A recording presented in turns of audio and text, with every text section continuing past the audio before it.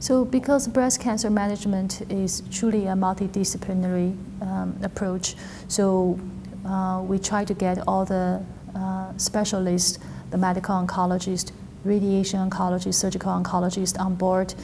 Uh, so have a consensus on the treatment plan. So this is pretty standard um, practice. So um, so this so at each conference we um, discuss all the newly diagnosed breast cancer cases.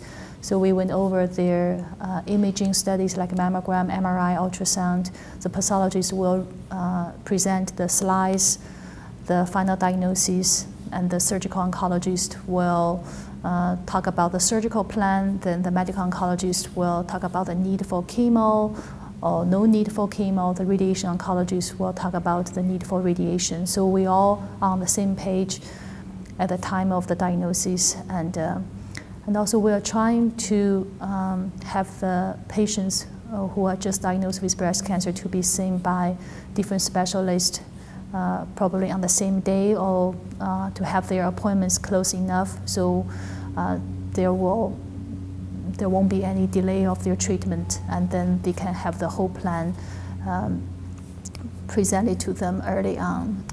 I believe in uh, evidence-based medicine, meaning any treatment that I recommend should be evidence-based. I will not just come up with anything that I think might work better or you know better for the patient. So, so that's the first thing. But you know also for cancer patients, so different people they have their different philosophy, their goal in their life. How do they uh, think about the cancer diagnosis? So I think my role is more like try to apply my knowledge or the research evidence to see how I can help them by providing the care, but ultimately fit their goal of their life. So to help them to make the right decision that they are comfortable with. Some people may think about uh, the quantity, you know, the longevity of life is the most important. Some other people may think, oh, the quality is more important.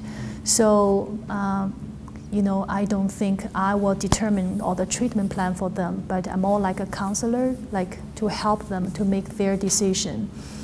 And uh, so I just provide, you know, with um, my knowledge, you know, the evidence that I'm aware of, and to see to come up with a plan that's the best for them.